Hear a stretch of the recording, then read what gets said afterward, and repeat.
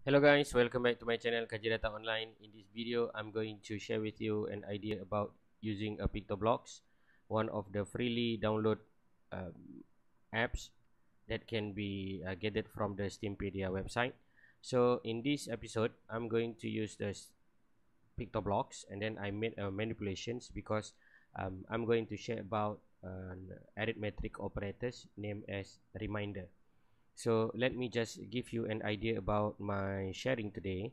So if you go to the website of the Arduino you can see over here we got the percentage um, meant for arithmetic operators.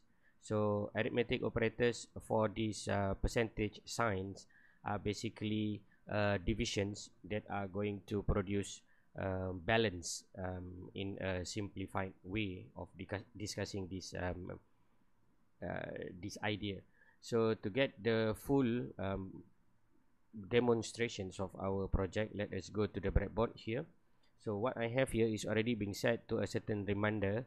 So um, if we press the button so it will count the number of the pressing and then it will divide according to the um, numbers that we indicate in the arithmetic operators of the reminder okay so in this case the remainder is basically uh, whatever it is being divided by 4 um, which is giving the excess of more than 1 or equal to 1 the LED over here are going to be light on. So for example if I go for the number 9 so 9 divided by 4 we will get um, 1 point something as a balance in in a simplified way when we talk about the remainder is basically a balance from that uh, operation. So let us uh, go have a look into the code. Okay so this is the idea of the code uh, for this particular project or this particular experiment. It is very simple.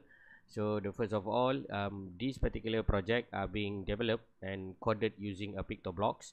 However due to some challenges we need to do some sort of manipulation a little bit here and there to make sure that it is work uh, flawlessly so if you can go over here we are including the wire library and also liquid crystal so this is a very important library to initialize with our i square c lcd and then we are going to make an integer over here named as um, button state last button state um, button push counter. So all these three variables are basically being arranged so that it is being initialized at zero position. And then we are going to focus on the setup where the setup is basically initialize everything.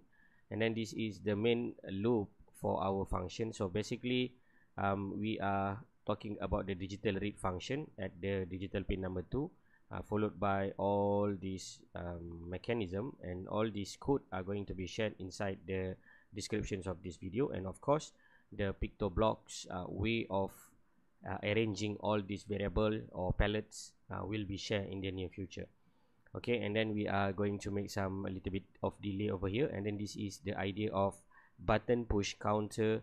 Um, this is the idea that I'm going to share with you which is I already talked about the reminder just now.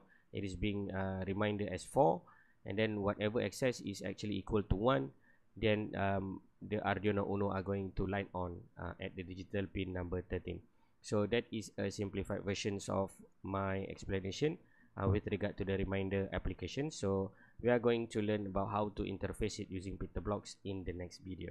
Until then thank you for watching this video. And if you find out this video is very useful please do help me with this three click please do like and then share. And uh, please do not forget to subscribe so that you will not miss our future videos. And if you got any comments with regard to this idea you can also jot down in the comment sections of this video. Until then thank you very much and see you again next time. Bye bye